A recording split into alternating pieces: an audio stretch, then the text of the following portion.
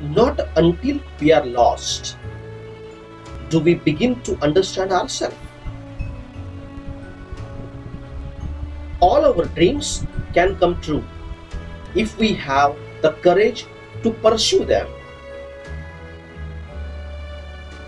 If you don't build your dreams, someone else will hire you to help them build theirs.